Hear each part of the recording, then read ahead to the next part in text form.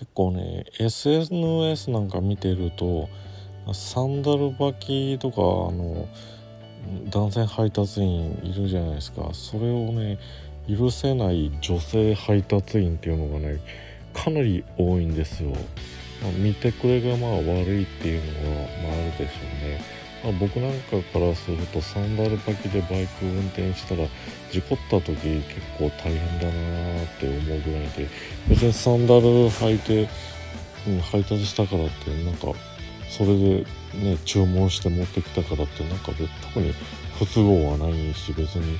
そんな汚いなんて思わないんですけどね。でもなんか女性配達員はもうなんか許せないっていう人が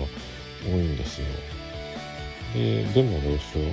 あの女性配達員って結構爪が長かったりネイルをしてる配達員の人が結構多いんですね。ででも食べ物屋とか大手の飲食チェーンっていうのはもう爪の長い人っていうのはご法度でまあ採用自体もされないんですよ。まあ不衛生ですからね。極端な話をしちゃうともううんちしてあのお尻紙で拭いたらもうやっぱり汚いじゃないですか。爪が長いと。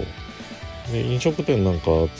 勤めてる人なんか分かると思うんですけど客性石鹸で手洗ってでなんか消毒液に手なんか何十秒とかつけなきゃあの勤務できないとかだったりするんでで大手の今飲食チェーンとかで結構直でドライバーやマクドナルドとかスカイラークとかまああとピザのデリバリーでもそうですけど、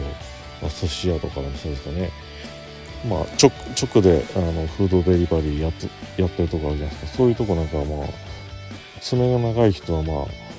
雇われないですよね。そういう意味ではサンダルと爪の長いのってどっちが悪いのっていう感じで。で爪の長い女性のフーデリ配達員がサンダル履きをの配達員を批判してるっていうのはまあ自分のことをまあはっきり言っちゃうと棚に上げちゃってるのかなっていうのは結構感じますね。